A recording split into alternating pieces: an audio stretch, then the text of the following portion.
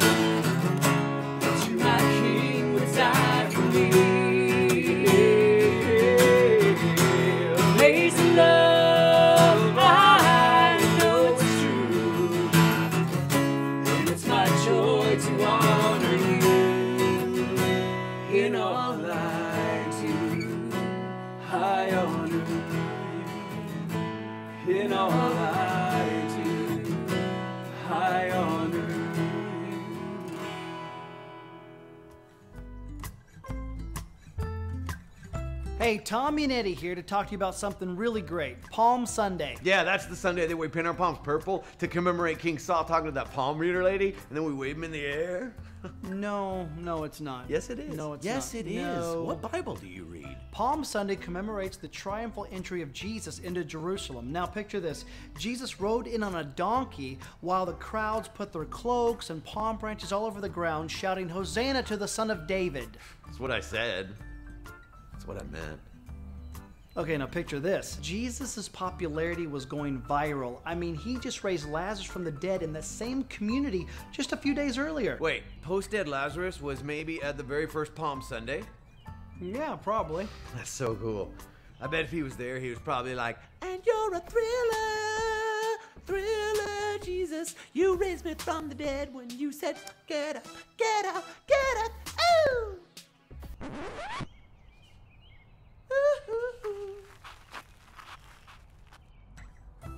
Now, to complete all of this, Jesus needed a donkey. Now, you'd think that a king or a prince would ride in on a horse, but not Jesus. He knew the message that he wanted to send.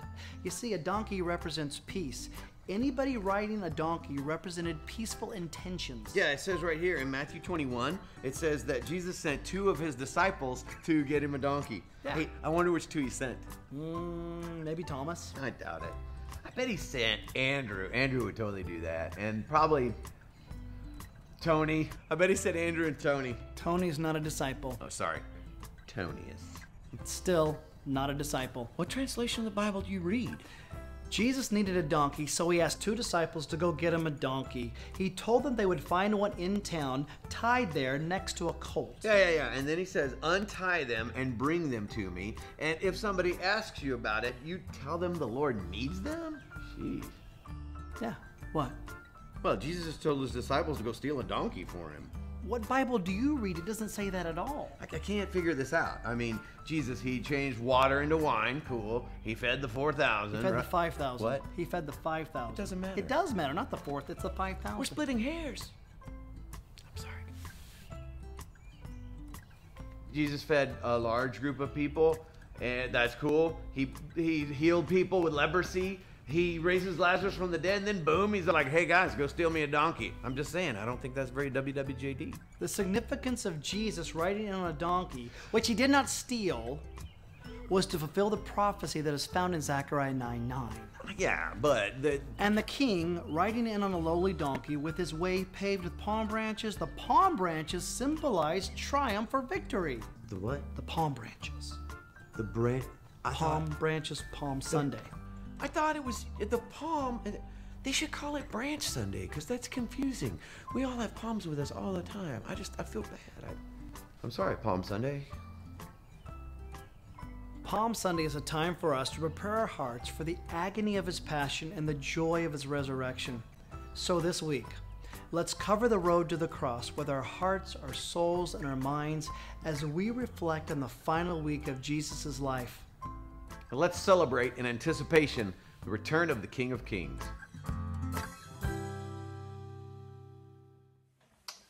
Good morning, Clearwater. Welcome to Palm Sunday with Clearwater Church.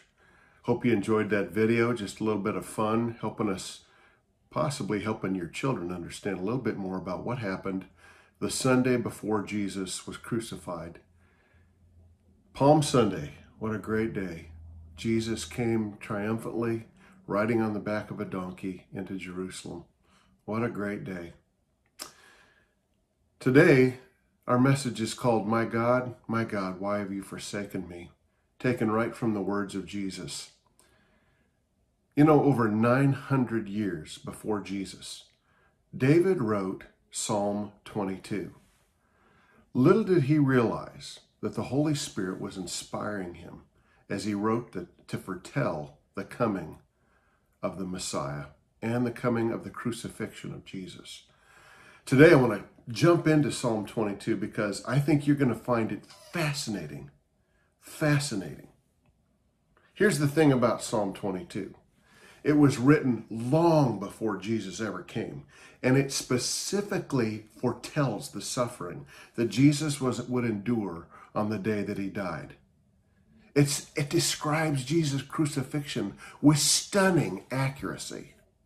It shows us how Jesus empathizes with our own rejections. Maybe you've been through rejection. If you have red blood and live on this planet, I imagine you have. I certainly have. What I love about Psalm 22 and what I love about looking at the cross of Jesus is that Jesus endured rejection at a level that few of us ever do.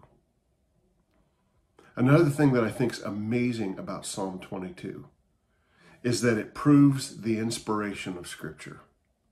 If something written 900 years before it happens and it defines it and describes it perfectly, there's something significant about that.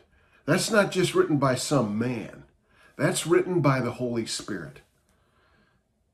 The Apostle Paul wrote to his disciple, Timothy, and he said this All scripture is breathed out by God.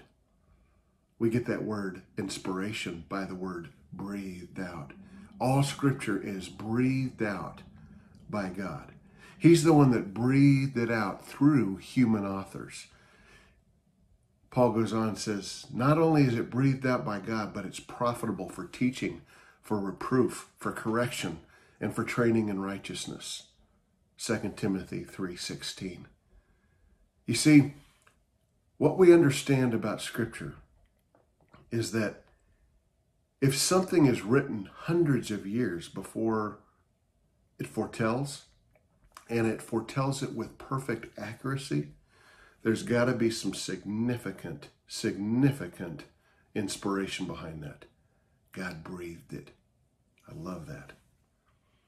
Now, as David wrote this raw, oh, such a raw and honest psalm, he was inspired by the Holy Spirit. Didn't even realize. He was just conveying how he felt. And he was writing down what he's working through as far as what his our emotions are on one side and what truth is on the other side. But he faithful and extremely specifically foretells the crucifixion of Jesus. Now let's rehearse just a little bit of the context of Jesus' crucifixion. Later on in the week, before Jesus is crucified, the night before he is crucified, he goes to the Garden of Gethsemane with three of his disciples Peter, James, and John. He says, Guys, stay here for a minute. I'm going to go over here by myself. He went over by himself and began to pour out his heart before God. Now, for you and me, what most of us are dealing with is should we or should we not sin and risk being separated from God?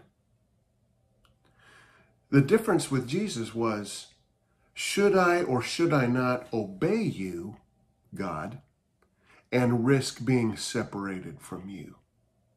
It's wild, isn't it?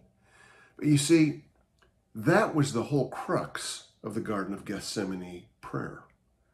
Jesus, I don't think, was as concerned about the physical pain he was about to endure as he was about being separated from his dad.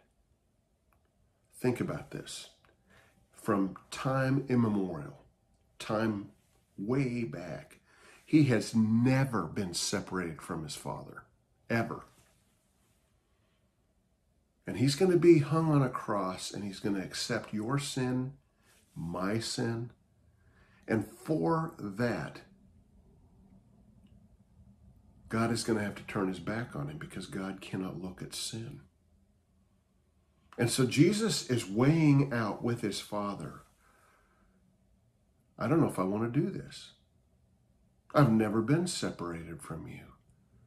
I, the greatest joy in my entire life, my greatest treasure, is being united with you, Father. Do I really want to do this? And man, it was it was serious.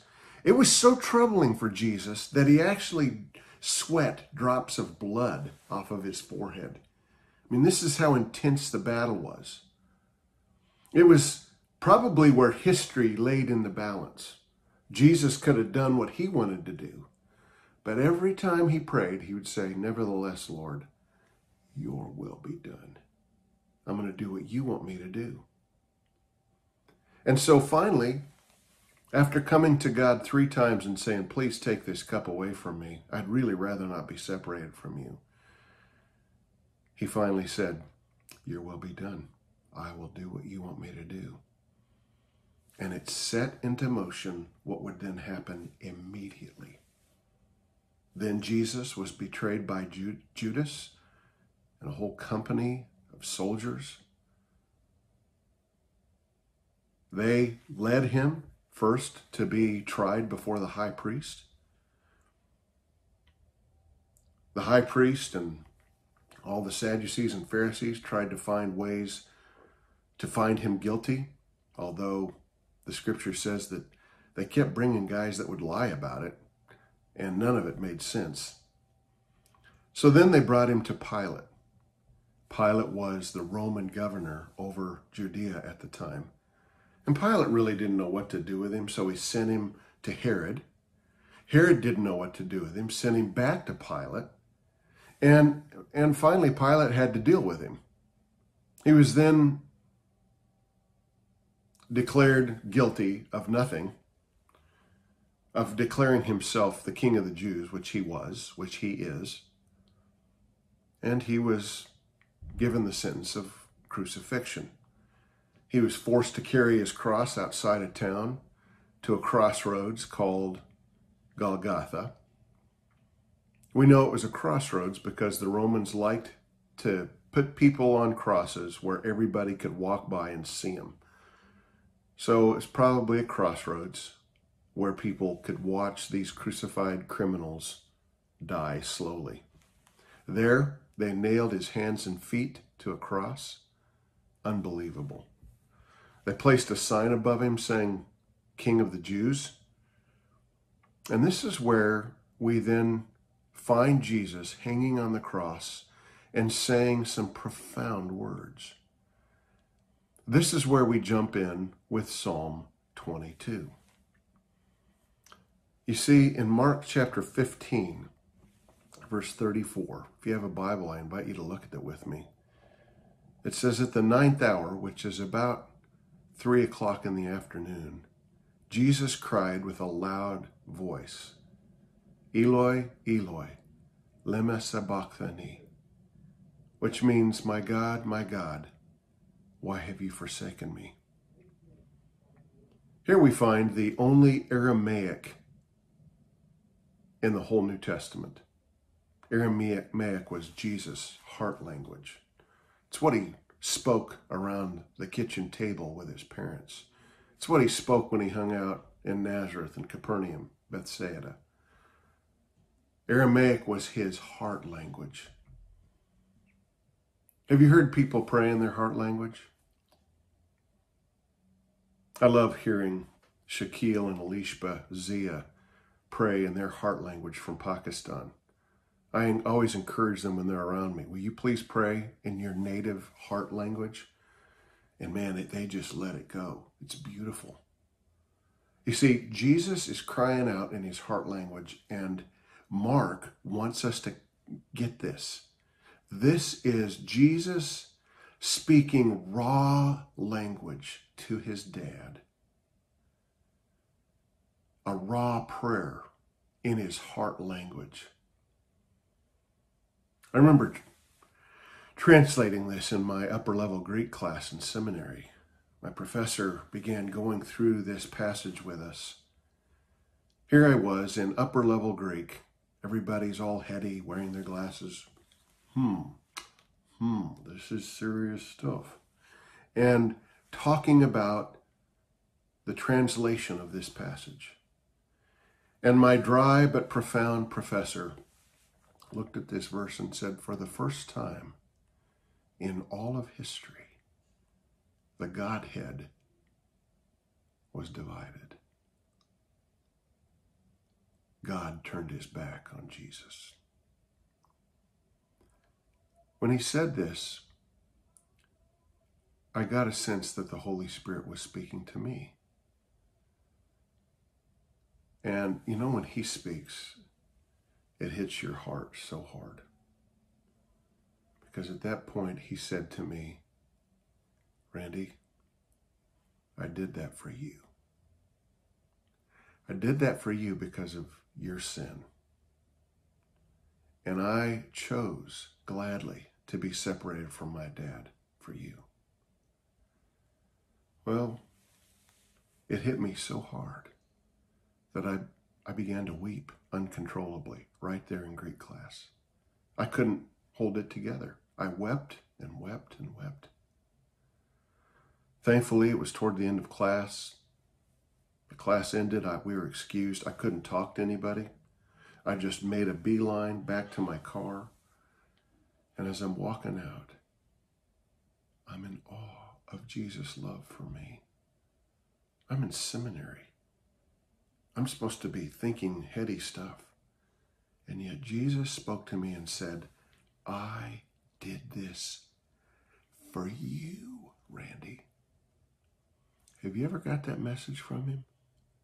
Have you ever got another really clear message, not just from a pastor like me, but from God Himself saying, I was separated for you. You'll never be the same afterwards. It'll tear you up. Now, Eloi, Eloi, lema sabachthani is Aramaic, and it is quoting Psalm 22, verse 1. Can you believe it?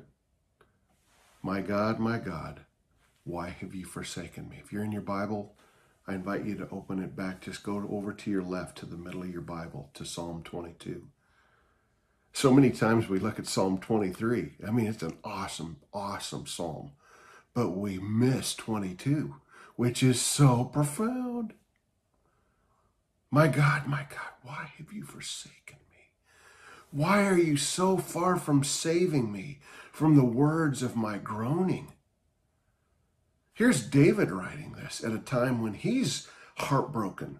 And little does he know that he's speaking the words of God, the words that God inspired, breathed into him to breathe out of his mouth through his pen. David just says a very raw prayer Where are you, God? Why have you forsaken me? I feel completely forsaken. Now, Jesus quotes those words. Now, I, I want to clarify neither David or Jesus really wonder why God has forsaken them. Neither one of them do. We'll find out in the context. Jesus Jesus knows that his dad has forsaken him because he has become sin for us. Jesus knows that. It's not like he's being naive or silly about it. He knows I love how 2 Corinthians 5:21 says, "For our sake he made him to be sin on our behalf, that we might be made the righteousness of God." You see, Jesus took my sin on that cross so that he might trade. He took my sin and gave me his right standing with his dad. Gave it. I didn't have to earn it. Then David goes on and says this Oh my God, I cry by day, but you do not answer, and by night, but I find no rest. David's been searching, searching, searching for God to speak to him, and God says nothing. So David feels completely removed from God, like God doesn't hear him. But then, and, and this is the right way to pray to tell God genuinely how you feel. But then after you've told him genuinely how you feel, and man, folks, get raw, get real. What, do you think you can hide this from him? And after you've gotten real with him, then rehearse truth. And that's what David does. He says, Yet you are holy, enthroned on the praises of Israel. Let's Let's dissect that a little bit. Now, wait a minute. Wait, I'm talking to the Holy One. And you're enthroned. What that specifically means is that you are, you inhabit the praises of your people. You get tangibly near to us as we worship you. This is the beauty of worship. As I worship Him, he becomes tangibly near to me. And I sense his presence, even though it's been there all along. And even though I feel like he's forsaken me, David says, But I got to rehearse the fact you're right here. You're right here, aren't you? He goes on in verses 4 and 5 And you, our fathers, trusted. They trusted, and you delivered them. To you they cried and were rescued. And you they trusted and were not put to shame. Oh, yeah. I feel like you're going to leave me, like I'm here all alone. I feel like I'm I'm doing this by myself. But I know that as I praise you, you're here with me. And I know that you're going to deliver me. I know that you're not going to let me be put to shame. I know it. Man, that's good. To you they cried, it says in verse 5, and were rescued. And you they trusted and were not put to shame. It's a big deal in a shame based Eastern culture. God didn't let them be put to shame. David goes on, but I'm a worm and not a man. That's how he feels. So he's gotten honest, rehearsed truth. Now he's going back to how he's feeling. I'm a worm and not a man, scorned by mankind and despised by the people. All those who see me mock at me, and they make they make mouths at me. They wag they wag their heads. He trusts in the Lord. Let him deliver him. Let him rescue him, for he delights in him, says verse 8. Think about that. David is experiencing what Jesus experienced. If we go back to the New Testament, we look at what happened to Jesus in the New Testament, it was identical to David's plight. It says down there in Mark chapter 15, 29, it says, And those who passed by derided him, wagging their heads and saying, Aha, you who would destroy the temple and rebuild it in three days, save yourself and come down from the cross. So also the chief priests with the scribes mocked him to one another, saying, He saved others, he can't save himself. David foretells 900 years before Jesus that these people would walk by and wag their heads and say, Nobody can save you.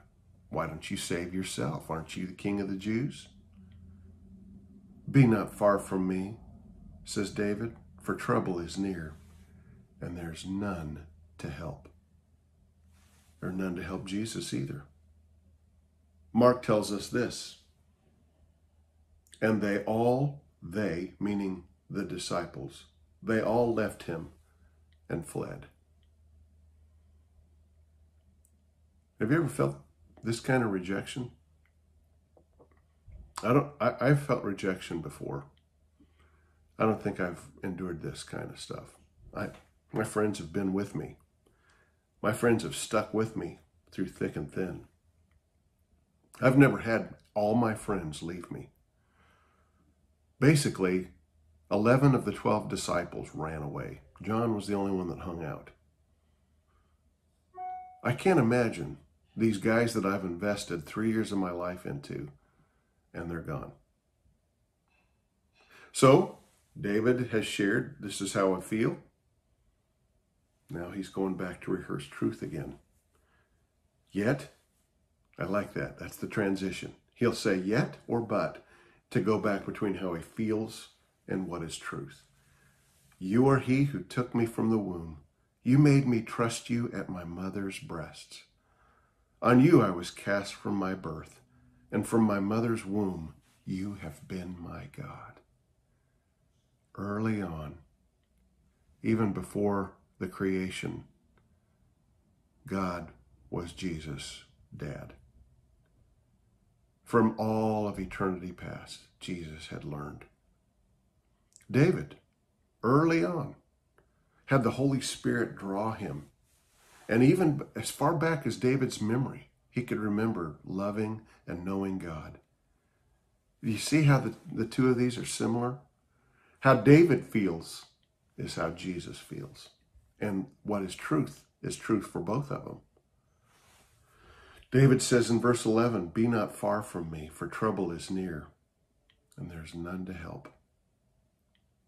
That's how Jesus felt. I'm hanging on this cross, and at the beginning, even the two thieves were hurling abuse at him. Finally, one of them repented But nobody was for him. There's no one to help. And that's how David felt as well. He goes on in verses 12 and 13 to say, Many bulls, B U L L S, bulls encompass me. Strong bulls of Bashan surround me. They open wide their mouths at me like a ravening and roaring lion. The strong bulls of Bashan are mentioned many times in the Old Testament. They were from the other side of the Jordan, from what we call the land of Naphtali. And apparently, these bulls were especially mean bulls, tough. And the metaphor here is a metaphor of, of people who think they're the kings of the world, super amped up on testosterone. If that's not a great picture of Roman soldiers, I don't know what one is. So, what, what David's saying is the bulls of Bashan, they surround me and they open their mouths at me and like a like a ravenous lion. Well, that's exactly what happened to Jesus. In Mark 15, 16 to 20. Once Jesus declared, Yes, I am the King of the Jews, the Roman soldiers put a purple robe around him. They crushed a crown of thorns on his head, making him bleed. They put a silly little stick in his hand to make it look like a scepter. And then they began to mock him. They began to beat him. They began to slug him. They began to spit on him. The bulls of Bashan were at work. David says in 22, Psalm 22, verse 14, I'm poured out like water, and all my bones are out of joint. My heart is like wax, it's melted within my breast. Friend, if you ever wanted to describe what it feels to be hung on a cross for crucifixion, that defines it perfectly joints actually do get out of, or uh, bones do get out of joint. The heart does feel like wax. Feels like you can hardly breathe. In fact, most people asphyxiate to death while hanging on the cross because they can't breathe. He says, My strength is dried up like a potsherd. A potsherd is like an ancient piece of pottery that an archaeologist finds and dusts off. My strength is like one of these broken pieces of pottery from years ago. My tongue sticks to my jaws. You lay me in the dust of death. Do you remember Jesus saying, I thirst? He thirsted because he felt like a dried up potsherd. His tongue stuck to his jaws. Man, the picture is absolutely identical. Then David goes on in verse 16 for dogs encompass me. Make sure you understand that the Jews always referred to Gentiles as dogs. So they're probably literally dogs for David. But maybe not. Maybe they were Gentiles. For dogs encompass me. A company of evildoers encircles me. They have pierced my hands and feet. Are you kidding me? They've pierced David's hands and feet. We don't ever hear much about that in 1st and 2nd Samuel, but we certainly hear about it in Jesus. His hands and feet were pierced, and David foretold it 900 years before. He says in verse 17 and 18, I can count all my bones. They stare and gloat over me. They divide my garments among them and for my clothing they cast lots. Folks, do you understand that after the Roman soldiers crucified Jesus, they cast lots, which is an ancient way of rolling dice, and whoever won got Jesus' robe. It's crazy. This is 900 years previous foretelling it saying this would happen. Then we go back again, and David chooses truth. And from verses 22 of Psalm 22 to verses to verse 31, David goes for all out praise. So he started at, My God, my God, why have you forsaken me? But by the end of the psalm, he's in all out praise. You got to read it. Like, for some reason, God has given him perspective. He's gotten perspective now. Let me just point out a couple of the verses that stand out, like verses 27 and 28. All the ends of the earth shall remember and turn to the Lord, and all the families of the nations shall worship before you. For kingship belongs to the Lord, and he rules over the nations. What did Jesus say after he was resurrected? Go and share the truth of who I am to all nations, so that all of them can worship before me. That's the goal of missions, to bring more worshipers to the throne. Yeah. And it finishes with verse 31. Catch this. They shall come and proclaim his righteousness to a people yet unborn. Um, that's you and me. That he has done it. They shall come and proclaim his righteousness to a people yet unborn, that he has done it. What was the last thing Jesus said as he hung on the cross? It is finished. What did Jesus do? What did he finish? The Greek word implies that he completed it. He completed the law of the Old Testament. Jesus said, Neither heaven nor earth shall pass away till all is fulfilled. Jesus did it on that day for our, on our behalf on my behalf, on your behalf, he fulfilled the scripture. He fulfilled the Old Testament law.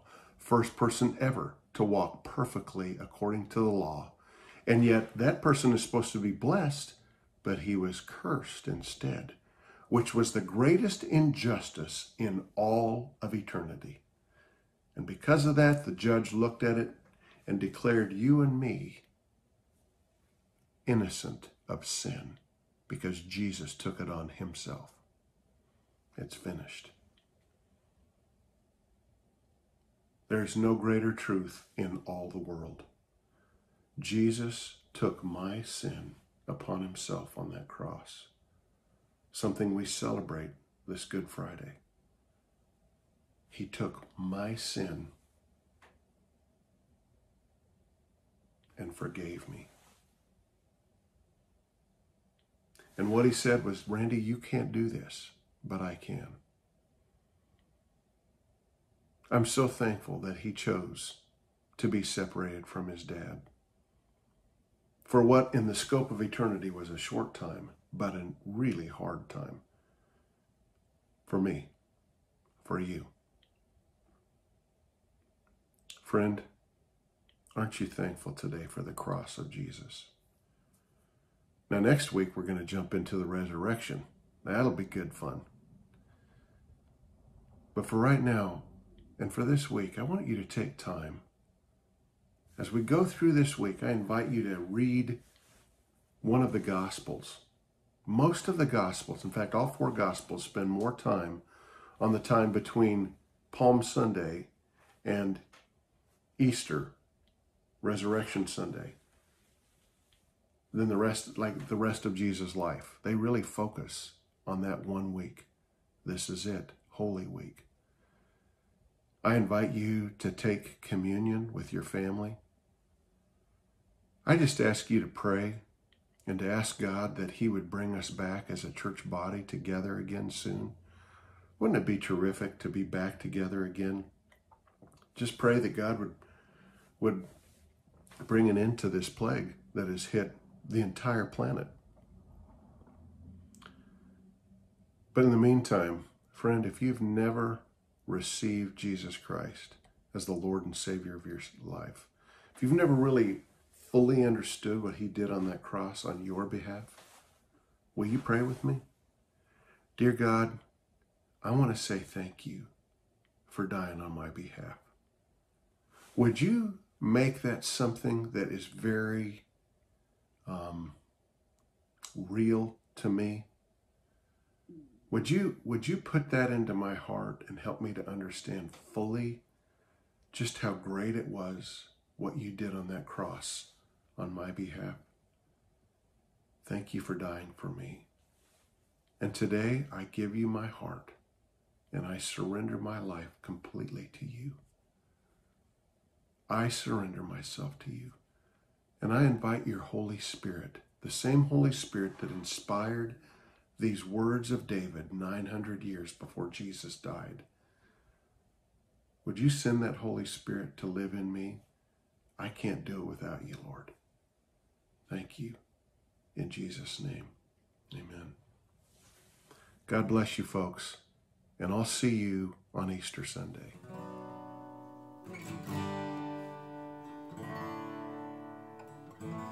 And now my is paid.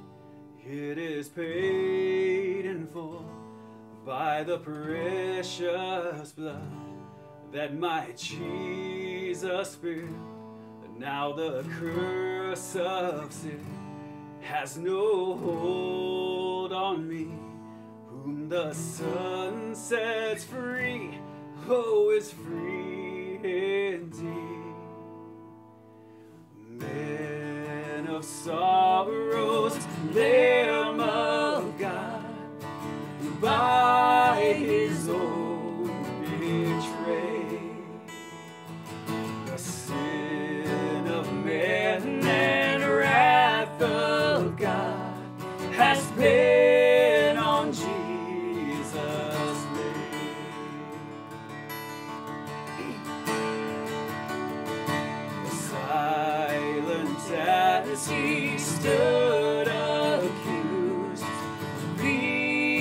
beaten, mocked,